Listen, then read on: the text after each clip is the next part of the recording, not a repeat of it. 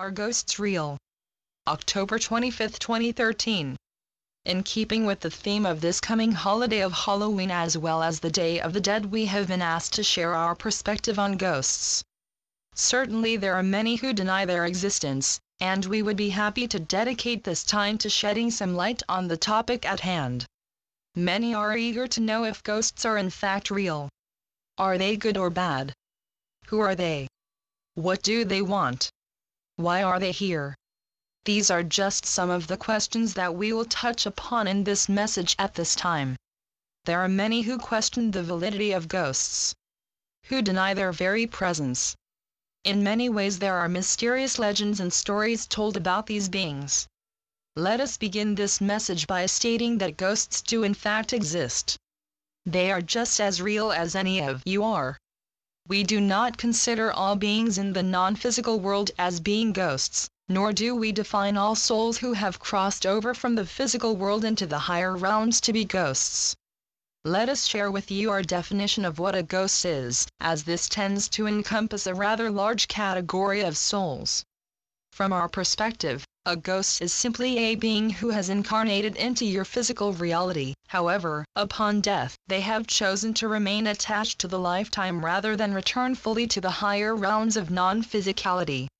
Just as you create your reality with your thoughts in your physical reality, you continue to create your reality with your thoughts, fears and beliefs upon death in the non-physical world as well.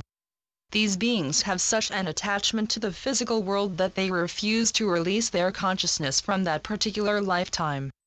Now just as all of you have had many incarnations both on and off this world, so have these beings you refer to as ghosts.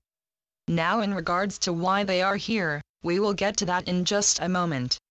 You see, each of you are an eternal divine being who has chosen to momentarily play the role of a physical being incarnated within the reality of duality. We have mentioned many times before that from our perspective all lives are going on simultaneously. Meaning that they are all happening right now. There are no past and future lives, only lives which are taking place in different time periods in this now moment we realize that from your perspective you still perceive time to be linear and as a result your minds feel most comfortable placing each lifetime in chronological order. Now the reason why we have mentioned this is because though these ghosts have become so attached to a particular lifetime that they refuse to release the role which they played, their higher self and soul is still able to devote a good portion of the overall total consciousness on many other lifetimes as well. Each lifetime only utilizes a small fragment of the total higher self or soul's consciousness. Though we realize that you are only aware of this one particular life at this moment, your soul is more than capable of directing and overseeing many different lifetimes at once. Please note that it is not because you are not capable of focusing on more than one lifetime at a time in this life, it's just the rules of the game which you have chosen to partake in. So, even though a being may not want to let go or release the attachment that they have to a particular lifetime, their soul is by no means trapped or prevented from experiencing many other lifetimes simultaneously.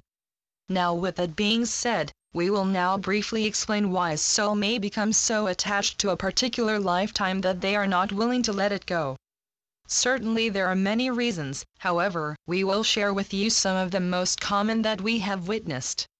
Surely one of the very most common is due to a soul becoming so consumed with the material aspect of a physical life and we are not referring to only money, but all material possessions of the physical world, that they feel that they are not ready to let those go and as a result they choose to linger around the home, or place in which they live to stay with their possessions. Another very common reason is due to a strong feeling of injustice, or revenge that the particular personality of the soul took on in that lifetime. Because these souls refuse to allow the higher perspective of the higher realms to re-enter their consciousness, they remain focused upon the injustice that they feel has been perpetrated in that lifetime. In other words the personality is still holding on the perspective it had as a physical being rather than regaining the state of full consciousness again. Yet another common reason is to share information with those who have remained in the physical that they were not able to share before they departed from their physical death.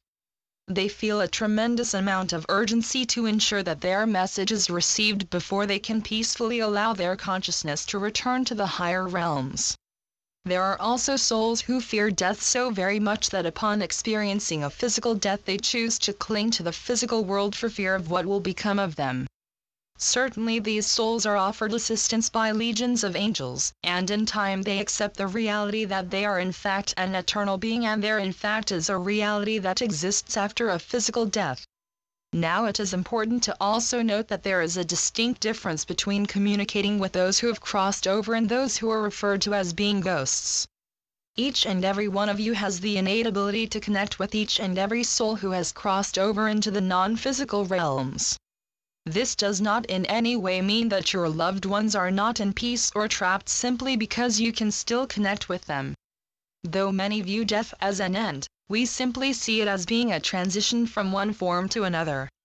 You are always able to connect with the higher self of any soul.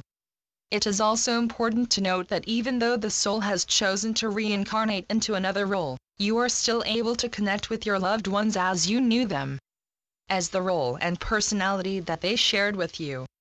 Energy knows no time.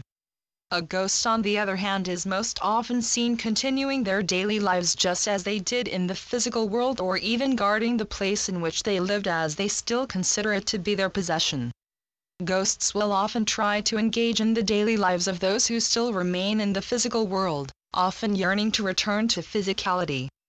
This again is very different from your loved ones who have crossed over who simply want to let you know they have not truly left, rather they have only changed.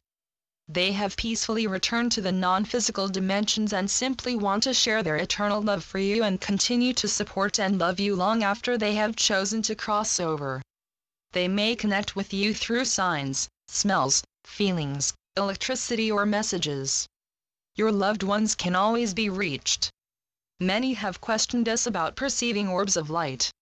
These images are most often captured on digital film, through a camera, or video though some are able to detect these lights with their physical senses. Though it is most often detected with your technology simply because your digital technology is operating at a different wavelength. Orbs of light can be many things. Angels, spirits, ghosts, fairies, just to name a few. You are simply detecting a high concentration of energy. Humans seem to fear what they cannot detect with their five physical senses. You have been taught to believe that your five physical senses can be relied upon so heavily that nothing else exists that cannot be detected by them. Many of you are beginning to slowly regain your intuitive senses and you will find with time that these can be much more reliable than anything your physical senses can detect. Most often when a physical being comes into contact with a spirit or ghost they are fearful, not of the being themselves, but of the unknown. It is often the uncertainty of the ghost's intentions, the question of if they are able to bring harm to you, and why they have chosen to reach out to you that seems so haunting. Many are frightened by even the thought of seeing or interacting with the ghost. The depictions that are often played on your movie scenes are over-dramatized. It is the human collective's depiction of the fear of the unknown. Death and what occurs after your physical death. We can assure you, death is most often far less traumatic than birth, if you could only remember the two. If ever you feel as though you have come into contact with a spirit or ghost whom you do not resonate with, all that you must do is request that they leave. You may call upon Archangel Michael specifically to assist you in clearing an energy or presence which you do not feel comfortable around. Most often these souls simply desire to connect with the physical world and do not wish to harm you. Remember you will not attract negative entities if it is not your intention or desire to do so. As in everything, you will always attract what you resonate with. Certainly you may always call upon us and we will gladly assist you in any way that we can. We hope that we have served you. In love and light, we are your angelic guides. Channeled by Taryn Crimi. angelicguides.wordpress.com